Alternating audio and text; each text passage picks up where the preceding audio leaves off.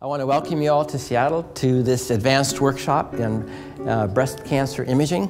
This is a course which was developed by and for clinical radiologists. It's intended to be very practical. We're going to go through supervised case review.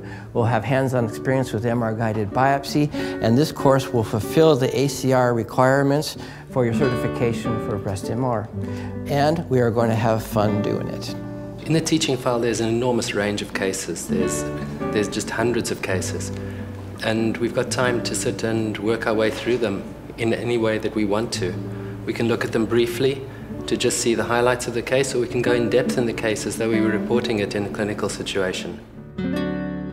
Technique matters, and a physicist or a, a biomedical engineer on board who understands the machine, who knows the physics behind the image is very, very important.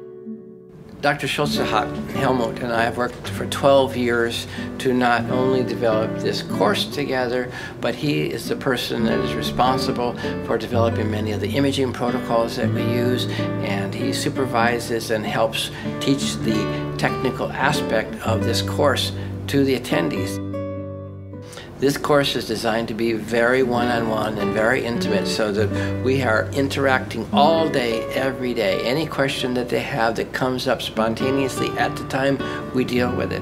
And for me as a teacher, it turns me often into a student because the average experience for the people who come to this course is on the order of 10 to 15 or more years of experience with breast cancer to me personally, this, the, the camaraderie and the communications and the lifelong friendships that we develop here with the attendees and with myself is an essential part of a good learning experience.